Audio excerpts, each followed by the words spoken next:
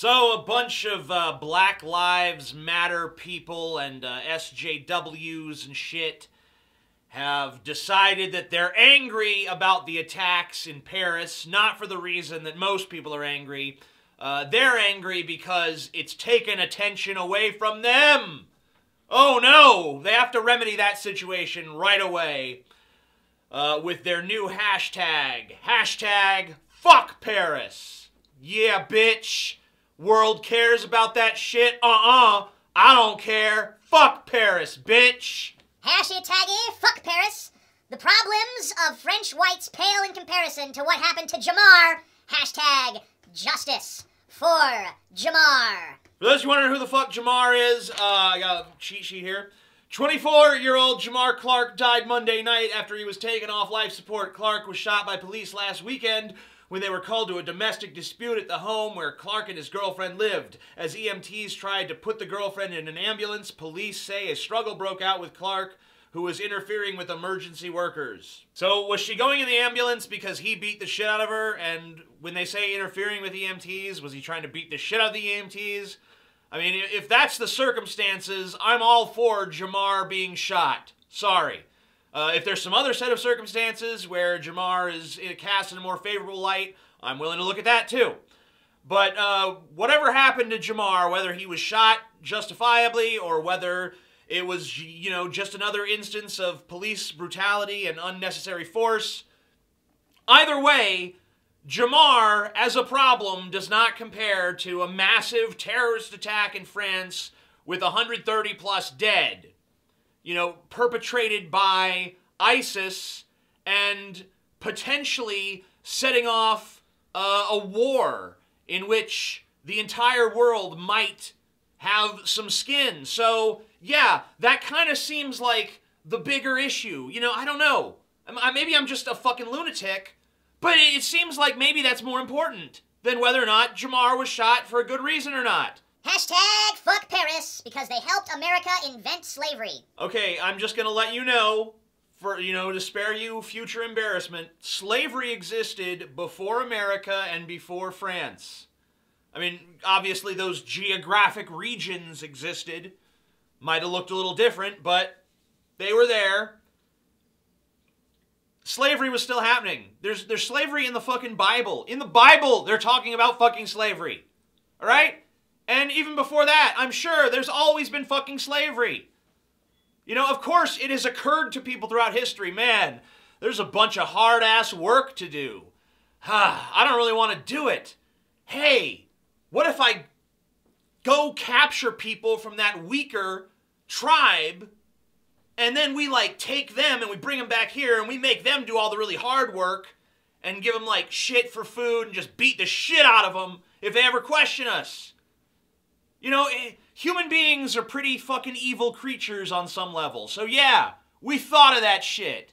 You know, it, it, wasn't just invented like America came, like George Washington sitting around, you know what would be good? No. Okay? That's fucking nonsense. Here's a news uh, agency, News 24, uh, tweeting, World wounded, angered by Paris terror attacks. And uh, to that, Ben Moses replies, at News 24, this is a 1922 official French stamp.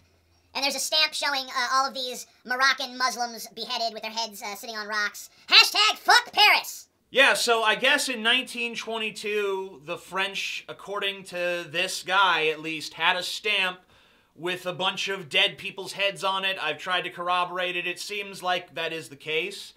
So I assume that this guy understands then that going to other people's countries and decapitating them and video evidencing it not video evidence in this case, photographic evidence, but capturing it in media and then spreading it around is wrong. Wow, I'm glad you agree with that because that's exactly what fucking ISIS is doing right now. They're beheading people and putting it out there for the world to see so that everyone shits their pants in fear and trembles before the might of ISIS. Oh, ISIS, please! Please, ISIS, don't kill me. We'll do anything. Any, any civil rights I have that my government needs, take them, take them. Just kill ISIS before they get me.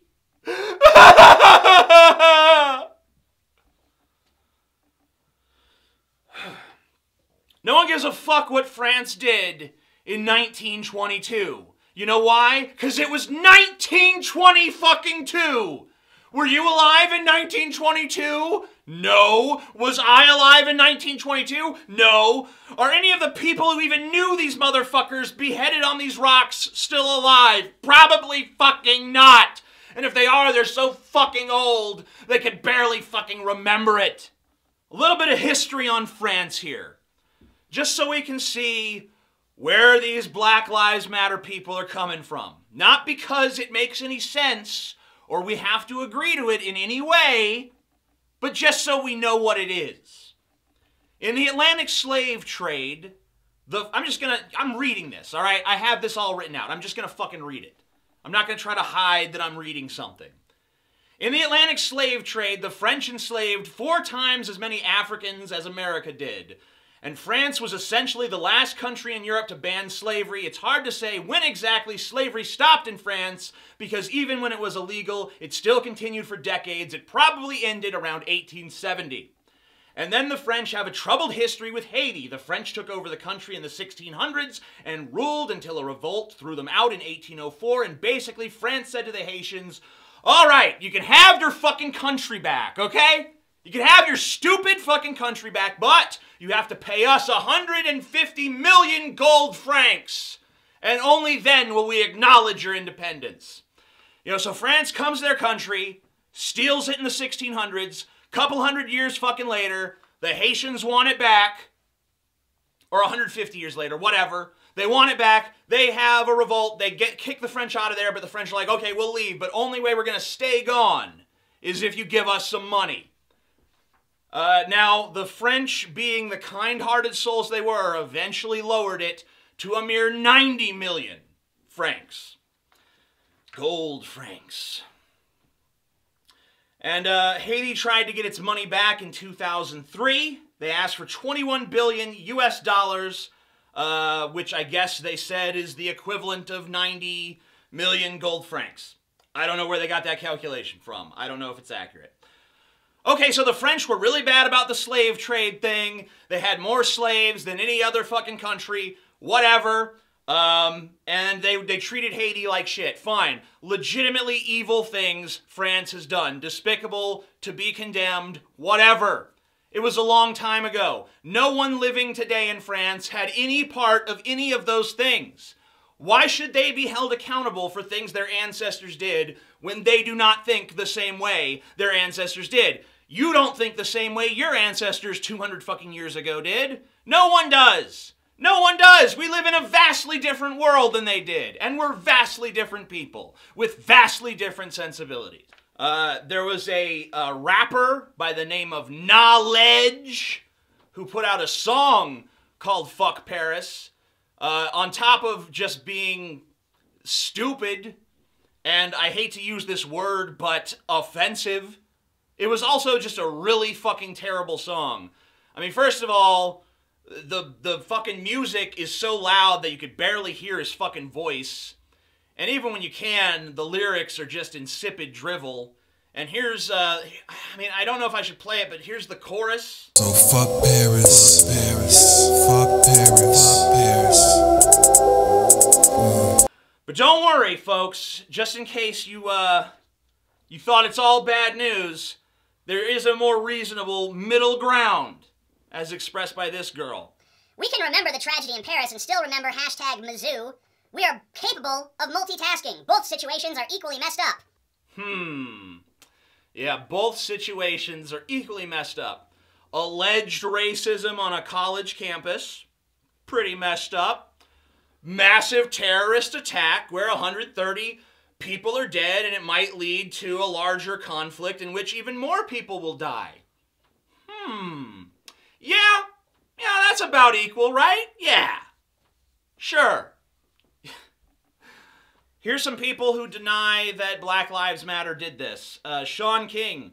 Several widely shared conservative articles are claiming hashtag Black Lives Matter activists created the fuck Paris hashtag. Just lies. Uh, you know, I guess that's possible. Doesn't really seem to be the case, but if you have some evidence of this, present it and uh, it will be appraised. No real Black Lives Matter activist or organizer would day fuck Paris We are all in this together. This is media mix crap.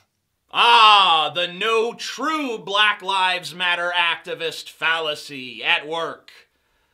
Um, you know, this is this is what happens with groups. I'm afraid to tell you, but it, it this is just always the case. You join a group because they champion some cause you agree with, and you're like, "Fuck yes, group! We are a group, and together as a group, we will get things done." And then before you know it, you start hearing whispers of people in your group doing stuff you don't really like, you know? Did you hear that, you know, some sect of our group is going to vote for Donald Trump for president? And you're like, what? Our, our group? There's people in our group that are voting for Donald Trump? Wow. Yeah, did you hear that someone from our group said that rape is okay? It's like, what? Let me see the context. Holy shit, yeah, he fucking did. Shit. But, you know, he's not really in the group. That's not how the group is. I'm sorry, every group is like that because every time there's a group, there's always going to be assholes to join the group because there's always going to be assholes in every group. So you got to own up to your assholes. I'm sorry. Just be glad that the Black Lives Matter assholes are just saying some douchebag things and tweets. The Islamic assholes are murdering people and beheading them and, you know, doing lots of gruesome, grisly shit. And, uh, as hard as that is to own up to, I think that moderate Muslims do need to say, yeah, these people are practicing our religion. And uh, if you look at the Quran, you can see that there is justification for everything that ISIS has done to be found in that book. It's not a perversion of the religion, it's just a, a different way of practicing it. And that's what's dangerous. All right, I'm the Amazing Atheist. Hope you enjoyed this video. Peace the fuck out.